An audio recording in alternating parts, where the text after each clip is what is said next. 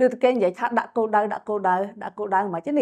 នេះតាដាច់ឆ្នាំចាស់2023ចូលដល់ឆ្នាំថ្មី2024ដើមខែថ្មីដើមឆ្នាំថ្មីអីអញ្ចឹងអូនអូនបានដាក់គោលដៅឲ្យនៅបញ្ហាត្រង់ថាអូនអូនខ្លះបែបថាលឺតែគេនិយាយដាក់គោលដៅប៉ុន្តែអត់ដឹងថាដាក់គោលដៅគេដាក់របៀបម៉េចត្រូវហ៎តាអញ្ចឹងថ្ងៃហ្នឹងយើងមិនរៀនដាក់គោលដៅទាំងអស់គ្នាហ្មងអញ្ចឹងចាប់ផ្ដើមទីបិចទីសភៅយកមកដាក់គោលដៅទៅសេគោលដៅអ្វីដែលយើងចង់បានក្នុងឆ្នាំហ្នឹងហ្មងតាអញ្ចឹងបើសិនយើងជាសិស្សដែលកំពុងរៀនទី12បាក់ឌុប2024ហ្នឹងហ្មងណាអញ្ចឹងគោលដៅយើងចង់បានអីប្រកាសទីចង់បានលទ្ធផលបាក់ឌុបល្អត្រូវអត់ចឹងហើយអញ្ចឹងបើសិនជាលទ្ធផលបាក់ឌុបនិទេសល្អនោះយើងចង់បាននិទេសអីបើសិនជាយើងបកកែគួរសមដែរយើងគួរតែហ៊ានដាក់និទេស A ទៅ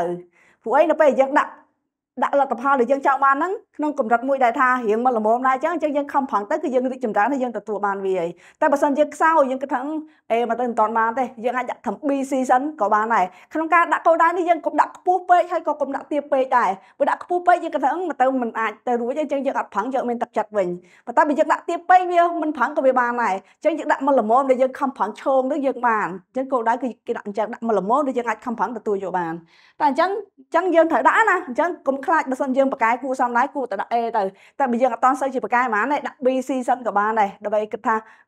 មិនអាចទទួលយកបានអញ្ចឹងណាតែខំប្រឹងគឺអាចយកបានហើយហើយវាបើសិនជាយើងមិនមែនទី2យើងអាចថារៀនថ្នាក់ ធម្មតាក្រៅទី2ឆ្នាំប្រឡងអញ្ចឹងណាយើងដាក់ទៅកុំឲ្យថាអត់មាននិទេសផងអត់ប្រងាតអត់តែយើងក៏នៅតែមានលទ្ធផលល្អក្នុងថ្នាក់ដែរដាក់យកលេខ1ក្នុងថ្នាក់លេខ2លេខ3លេខ4លេខ5ក្នុងថ្នាក់អញ្ចឹងទៅបើសិនយើងសិស្សខ្សោយយើងអត់តហ៊ានដាក់លេខ1យើងដាក់ត្រឹមលេខ10សិនក៏បានដែរយើងខំប្រឹងបន្តបន្តបន្តិចបន្តិចអញ្ចឹងណាកុំឲ្យថាដាក់ខ្ពស់ពេកយើងអត់ហ៊ានខំប្រឹងអញ្ចឹងបើសិនយើងសិស្សខ្សោយយើងធ្លាប់បានតែលេខ30ដាក់ត្រឹមលេខ5 10លេខ15លេខ10លេខ5អីសិនមកហើយដាក់ឲ្យខំប្រឹងអញ្ចឹងទៅតាបើសិនជាសិស្សសកលនិស្សិត ដែលដូចថាធ្លាប់តែបាន3.3ចុច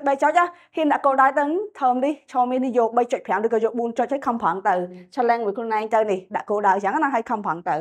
តទៀតបើសិនជាជានិស្សិតឬក៏យើងជាទីថ្នាក់សិស្សទី12ដែលធៀងប្រឡងធៀងអីចឹងទៅយើងអាចដាក់គោលដៅសម្រាប់ឆ្នាំក្រោយឬក៏ជានិស្សិតឆ្នាំទី1ទៅបញ្ចប់បាក់ឌុបអីចឹងណាយើងអាចដាក់ថាអឹងចង់ប្រឡងហាក៏ទៅរៀនក្រៅប្រទេសទៅបរទេសអីចឹងទៅចង់ទៅប្រទេសណាថៃចិនជប៉ុនសិង្ហបុរីវៀតណាមអីចឹងណា តែយើងដាក់ទៅយើងមានទឹកចិត្តហើយថាយើងត្រូវតែខំប្រឹងធ្វើវាឲ្យបានអញ្ចឹងទៅតទៀត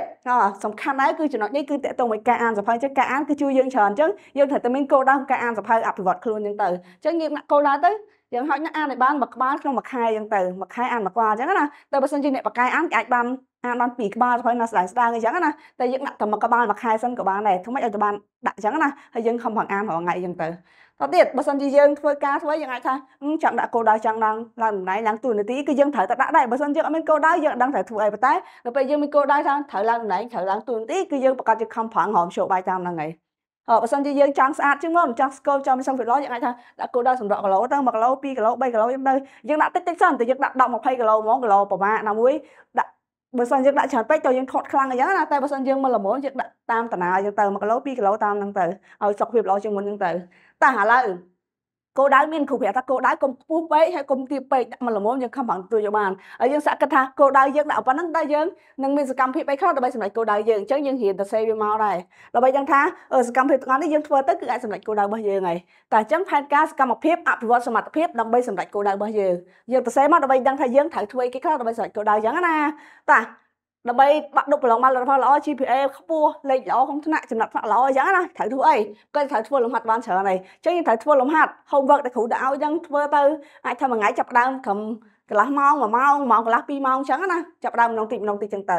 ចាហើយតើតើមួយហ្នឹងការអានសភៅការអានសភៅគឺជួយយើងច្រើនតើតើមួយផ្នែកគំនិតការគិតគិតវិជ្ជមានអញ្ចឹងណាហ្នឹងហើយផ្លូវចិត្តយើងល្អអញ្ចឹងទៅអញ្ចឹងអានសភៅដើម្បីអវត្តខ្លួនអវត្តផ្នែកគំនិតរបស់យើងយើងអាចថាអានព្រមអ្នកខ្លះចាប់ផ្ដើមទៅអាន5 10 20នាទីឬក៏កន្លះម៉ោង ឬក៏1ម៉ោងក្នុងមួយថ្ងៃយើងតែធ្វើម៉េចបង្កើតទម្លាប់អានឲ្យបានរាល់ថ្ងៃតទៀតដើម្បីសុខភាពល្អយើងត្រូវធ្វើម៉េចហូបអាហារល្អល្អមានន័យថាយើងត្រូវញ៉ាំបន្លែផ្លែឈើត្រីសាច់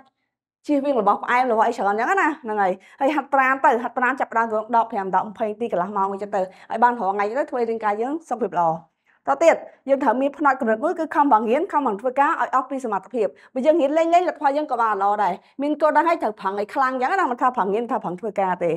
ហ៎ ពេលខ្លះនៅពេលដែលពេលខ្លះយើងក៏មានអារម្មណ៍ខ្ជិលដែរអាចនឹងមានអារម្មណ៍ខ្ជិលឬក៏ធ្លាក់ទឹកចិត្តអញ្ចឹងណាដើម្បីកុំឲ្យបាក់ទឹកចិត្តយើងត្រូវអានគោលដៅរាល់ថ្ងៃព្រោះពេលខ្លះយើងភ្លេចគោលដៅធ្វើយើងខ្ជិលយើងមិនដឹងធ្វើដើម្បីអីប៉ុន្តែដល់ពេលយើងនឹកឃើញថាអានគោលដៅដើម្បីអញ្ចឹងថារាល់ថ្ងៃនេះចង់បានអីដល់ពេលយើងអានគោលដៅរាល់ថ្ងៃទៅធ្វើឲ្យយើងមានទឹកចិត្តឡើងវិញហើយបន្តទៀតគិតវិជ្ជមានតស៊ូដោះស្រាយបញ្ហាចំណុចនេះក៏សំខាន់ដែរយើងត្រូវគិតវិជ្ជមានកុំឲ្យគិតថា យើងគិត negative ច្រើនអ្វីៗគឺ negative តាមយើងអញ្ចឹងយើងគិតវិជ្ជមានយើងតស៊ូយើងហ៊ានដោះស្រាយបញ្ហាអញ្ចឹងទៅព្រោះពេលខ្លះជីវិតយើងវាអាចនឹងជួបបញ្ហាអញ្ចឹងណាអញ្ចឹងយើងត្រូវហ៊ានដោះស្រាយមួយបញ្ហាហ្នឹងទៅតទៀតចុងក្រោយគេនេះត្រូវជឿជាក់ថាខ្លួនយើងប្រកាសជាអាចធ្វើបានក៏ពេលខ្លះយើងក៏ត្រូវអាចទៅរួចជាដាក់ដាក់ទៅគោលដៅផែនការអស់នេះយ៉ាងអញ្ចឹងយើងទៅសេកញ្ញាអ្វីដែលអាចសម្រេចទៅបានហើយយើងមានសកម្មភាពផែនការដែលយើងធ្វើទៅគឺយើងអាចសម្រេចបានគោលដៅហ្នឹងហើយអញ្ចឹងរៀនធ្វើទាំងអស់គ្នាហើយកូនសិស្សដែលទី2អញ្ចឹងណាឥឡូវដើមឆ្នាំអី